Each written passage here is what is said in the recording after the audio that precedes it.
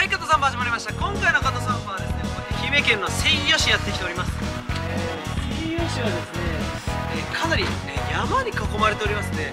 あの地図で見るとドラクエの山岳地帯を冒険している感じのような、えー、そんなフィールドに、えー、見えましたけど山です。もん見てくださいこれ。行きましょうかね。こうずっとこうててててて。はいえー、とねジオパークのどん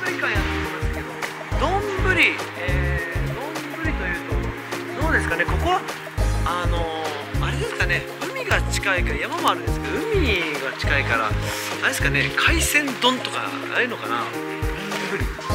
どうですか山の方だとこう伝統光景みたいな感じ。で器も有名ですしどっちですかね。どうやらですねこう飯吉の、有名な食材を聞いたんですけどどうやらお米？お米らしいんですよ。はい。何でもいいということでですねあのエビ大好きなんでエビエビあんかけてお米はやるけ？これすごいですね。あの米の藁なんですかね。え米が有名ということで。これは、えー、何の巨人ですかね。着物の巨人ではないですねこれね。車力の巨人ですかねこれはね。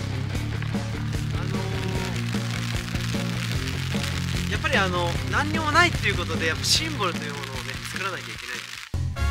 はい、中入ってきました。休館日ってね今日やってないんですけどこうやって実際にあのショップが教室一個一個に入っているということで、えこのショップなんですけどここにね見てくださいこれ「ハッシュタグ雑巾がけです」って皆さん調べてください、えそうするとですねここが出てきて雑巾がけでバーッとあっちまでレースする。ということで西洋市散歩させていただきました、えー、ここで有名なお米ね、えー、そのお米が使われていたと、えー、いうことで丼食べましたけどやっぱお米が美味しかったね、えー、程よい、えー、水のね、え